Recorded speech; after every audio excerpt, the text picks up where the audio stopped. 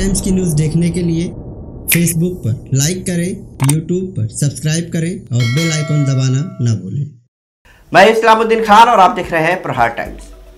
मुमरा में मनपा लगातार हॉकर्स पर कार्रवाई कर रही है और हॉकर्स की जो ठेला गाड़ी है, उसे भी मनपा कार्रवाई करके तोड़ दे रही है। इसी मुद्दे पर आज एमआईएम पार्टी के जावेद सिद्दीकी, ये मुमरा अतिक्रमण विभाग पर पहुँचे थे।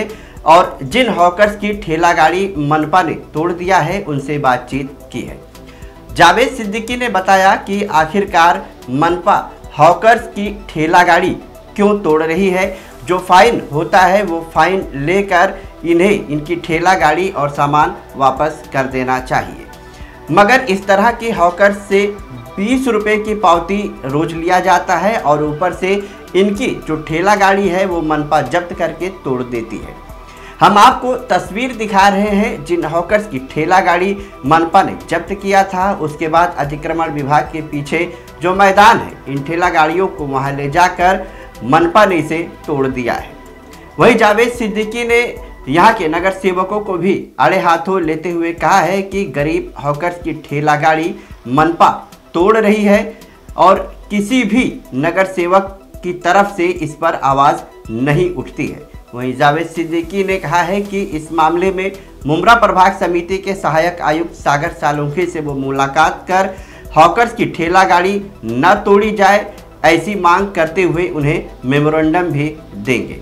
एमआईएम के जावेद सिद्दीकी और जिन हॉकर्स की ठेला गाड़ी तोड़ी गई है, उन लोगों ने क्या कुछ कहा है? सुनिए। जावेद भाई मनपा लगातार हॉकर्सों पर कार्रवाई कर रही है लेकिन कानून के तहत जो है जो भी माल या गाड़ी जब्त की जाती है उसका फाइन जुर्माना भर के गाड़ी छोड़ दिया जाता है। लेकिन यहाँ देखा जा रहा है मुमरा में कि इनकी गाड़ियों को तोड़ दिया जा रहा है। इस पर क्या कहेंगे आप?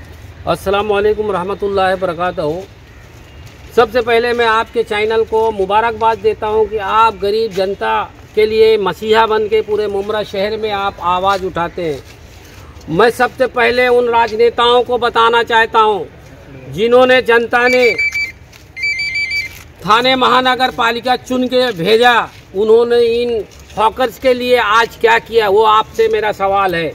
नथिंग दूसरी बात यह है कि इन्होंने पंद्रह साल के अंदर जो हाकर्स के नाम पे करोड़ों रुपया खर्चा करके इन्होंने एक आज हाकर से कोई हाकर्स नहीं बनाए, मित्तल ग्राउंड में लाके बसाते हैं। फिर वहाँ से उठा के, फिर डंडा लाठी दे के फिर इनको गुलाब पार्क में बैठाते हैं।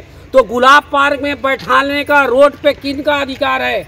किसने किया है? अगर तुमको यही है महाराष्ट्र शासन ने हाकर्स के जोन के लिए हर जगह आप चले जाइए, उल्लासनगर चले जाइए, थाना चले जाइए, कलवा के चले जाइए, वहाँ तो इतनी जास्ती नहीं हो रही है। ये गरीबों के साथ गाड़ी क्यों तोड़ी जा रही है? अगर वो गलत तरीके से गाड़ी लगा रहा है तो उसको जब्ती करो और दंड भर के उसको छोड़ो। ये सुप्रीम कोर्ट हाई कोर्ट का आदेश है किसी गरीब का घर बगैर नोटिस के तोड़ नहीं सकते।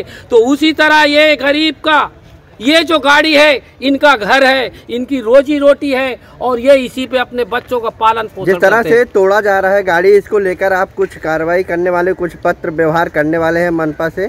मैंने सहायक आयुक्त को आज पत्र दिया कि ये जो मुमरा शहर में ये तोड़ू कार्रवाई। देने वाले हैं। देने वाला हूँ अभी हाथ में है हाँ। अभी जाके दूँगा। तो मनपा प्रशासन से और सहायक आयुक्त से मैं गुहार लगाता हूँ आपके न्यूज़ के माध्यम से कि ये जो गरीब के साथ तोड़ तोड़ू कार्रवाई है बंद करना चाहिए कायदा में बसत नहीं जो अभी अगर दोबारा ऐसी कार्रवाई होती है गाड़ियाँ लाकर तोड़ दिया जाता है उनको वापस नहीं किया जाता इसके लिए आप क्या कदम उठाएँगे? मैं सबसे पहले वो हाकर्स भाई आंदोलन वगैरह करेंगे? हाथ जोड़ के बैठेंगे पत्र देने के बाद ऐसी तरह की कार्रवाई हुई तो क्या करेंगे? देखो अगर ये पत्र देने के बाद इन्होंने नहीं इसको मान्य किया फिर गाड़ी तोड़ेंगे उसके ऊपर हम उनके ऊपर कार्रवाई करने की मांग करेंगे कोर्ट से और उनके ऊपर एफआईआर करेंगे। इनका जो काला चिट्ठा पंद्रह साल से है मुमरा प्रभाग समिति को सारा लेके हम कोर्ट में जाएँगे। क्या नाम है आपका? इस्माइल अंसारी। आपकी आप कितनी गाड़ी थी यहाँ पे? मेरी तीन गाड़ी थी। कहाँ पे आप लगाते हैं? क्या नाम उसका? Ideal market. Ideal market. गाड़ी आपकी कहाँ पे है?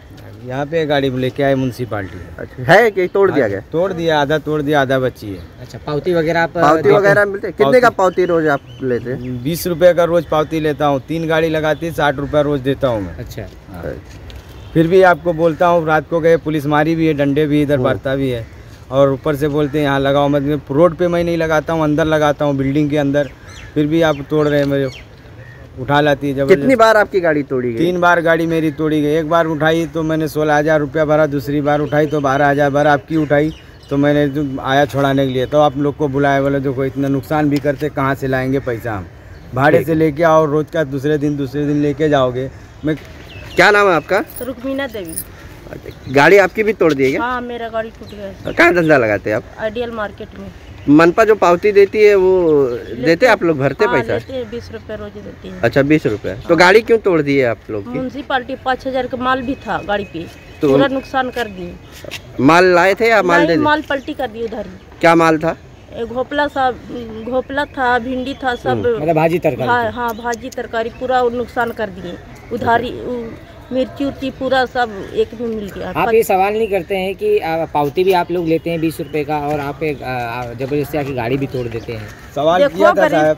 तो क्या बोले क्लिप गाड़ी खड़ी करने का पावती देता हूँ अच्छा। तो मैं बोला गाड़ी कल मैं रोड पे खड़ी कर देता हूँ बीच पे तुमको बीस रुपया रोज देता हूँ भाजी हाँ। सरकारी नहीं लगाएँगे। अच्छा। तो वो बोले तुम्हारी ऐसे चलेगा क्या दादागिरी में बोला जब रोड पावती देता हूँ तुम बोल रहे हो गाड़ी खड़ी करने का तो खाली खड़ी करने के लिए उस पर सब्ज़ी तो लगाएँगे हम और रोड पे नहीं लगाते अंदर रोड लगाते बिल्डिंग में।